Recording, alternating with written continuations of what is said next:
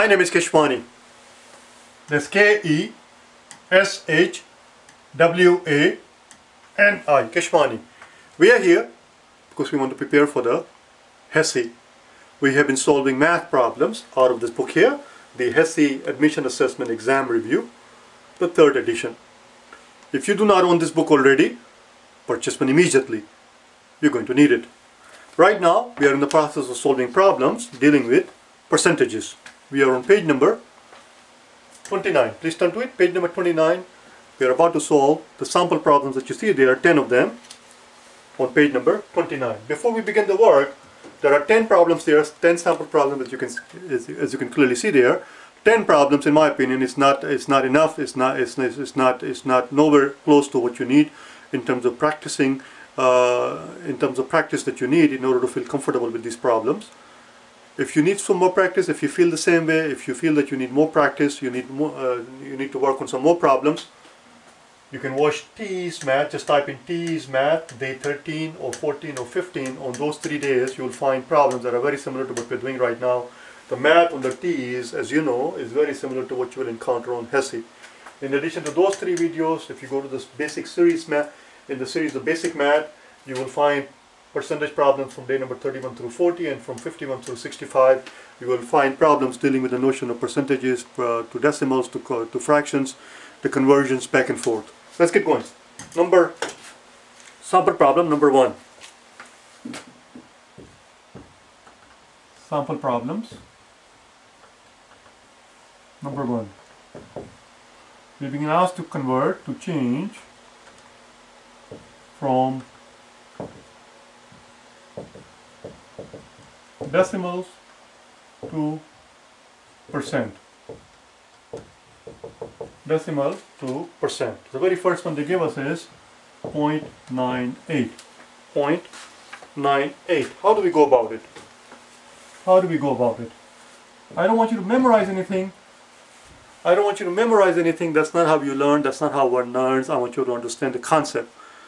If somebody gives you a decimal and asks you to convert to a percentage, how do you go about it?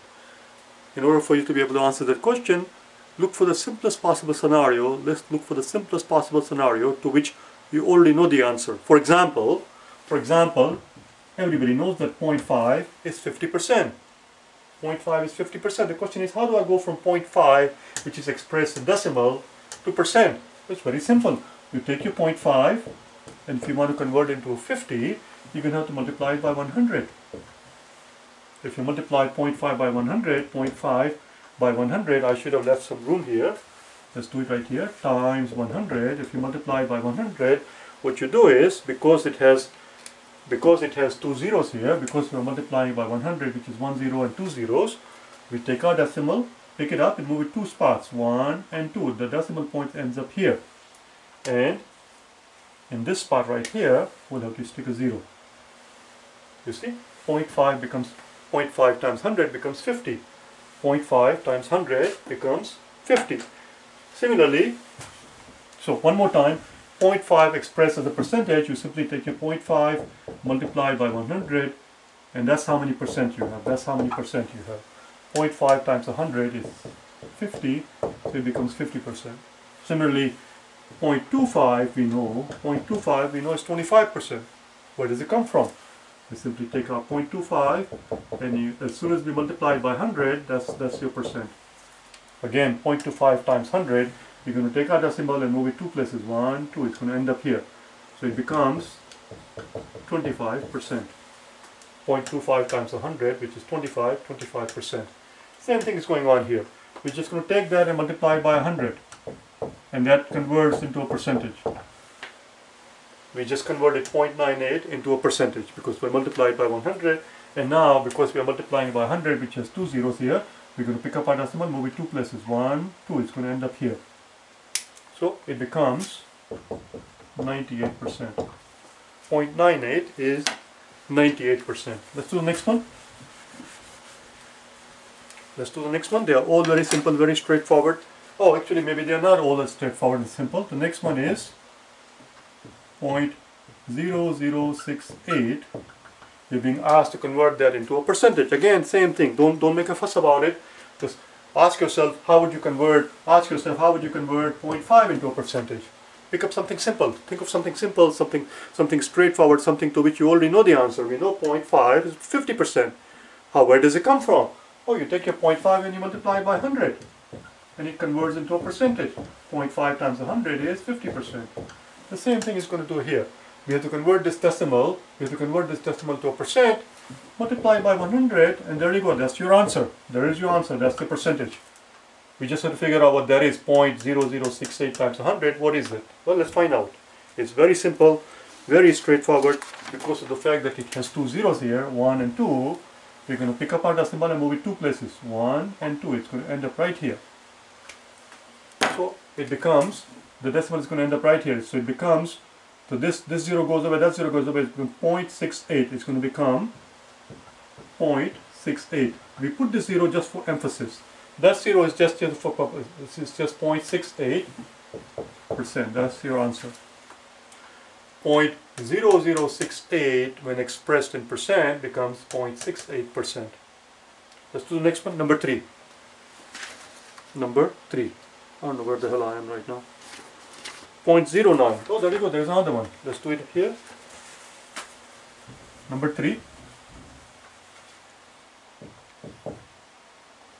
0.09 we're being asked to convert this decimal into a percent just like we were asked to convert 0.5 into a decimal that, that decimal 0.5 into a percent we converted 0.5 into a percent by multiplying it by 100 0.5 times 100 is 50 percent same thing here we're going to multiply it by 100 and as soon as we do that it becomes a percentage it becomes a percentage and now we simply have to ask ourselves how do we multiply 0.09 times 100 it's very simple. Pick up the decimal point, move it two spots. One, two. It's going to end up here. The decimal place is going to end up right after the 9. So it becomes, it becomes 9%. It becomes 9%. Let's do next one. Number 4. Number 4. In number 4, we're being asked to convert percentage to a decimal. Alright, percentage to a decimal. It's a different one. So we're done, we're done converting from decimal to percentage. Now they're asking us to do the reverse. From percentage to decimal. From, from percent to decimal. The first one is, again, ask yourself something simple before you start doing the problem. Ask yourself something simple. From percent how about from 25 percent? How would you convert how would you convert 25 percent into a decimal? Well it's very simple very straightforward. We learned it yesterday. What does the word percent mean? What does the word percent oh I didn't write it down. First what does the word what does the word percent mean? Percent means Percent means exactly what it says. Percent means exactly what it says. It means per 100. Per 100. Percent means out of 100. So 25%, 25% means 25 out of 100. 25 divided by 100, as you know, is simply 0.25. Similarly, if we were to ask, if we were, if we, if we were to ask to, to convert uh, 50% 50% into decimal. Now 50% is very simple same as 50 over 100 which is simply 0.5 in decimal. If you were to convert ask to convert 90% into decimal that's simply 90 out of 100 which is equal to 0.9 now let's do the problem that are in the book. The very first one they give us number 4 Number 4 is 58%, which is not a big deal. 58% is simply 58 out of 100. 58 out of 100, 58 divided by 100, we're simply going to take up our decimal place, which is right here, and move it two places. 1, 2, it's going to end up here. It becomes 0.58. Let's do the next one, number 5. Number 5. 76.3% we are asked, 76.3%. 76.3%. Same thing. 76.3% means 76.3 divided by 100. How do we divide it by 100? It's very simple. Move the decimal to the left, two spots. Why two spots? Because we're dividing by a quantity with two zeros in it.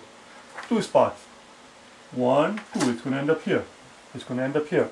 So it ends up being, the decimal place was used to be here will end up here. It becomes 0.763. 0.763 is same as 76.3%. Just do one more. Number six. Number six is 0.03%. 0.03%. Let's find out. 0.03%. Don't don't make a fuss about it. Don't make a fuss about it. Keep it simple. Keep it logical. Understand the concept. Percent means out of 100. So this thing, when written as a fraction, it is same as 0.03 out of 100. Out of 100. What happens to the decimal? It's going to move. It's going to move to the left, just like here. 1 and 2. It moves, it's going to move two places. It's going to move two places. Let's do it here so we have the room. So when you pick up your 0.03 and you move the decimal two places to the left, what do you suppose is going to happen? We're going to pick it up and move it to the left. 1 and 2. It's going to end up here. It's going to end up here. Here's a 0 in the, in the leading 0. And we're going to have to add one more 0 to it. It becomes, therefore this becomes, right here, 0.0003. 0.0003. 0.0003 is same as 0.0003 decimal quantity is same as 0.03 percent 0.03 percent. The 7 8 and 7 8 9 and 10 that you see there that's where we're being asked to convert fractions to percent. We'll do those tomorrow. We'll do those tomorrow because they involve they involve the sixth and the eighth and they're going to take some time. Okay? Bye now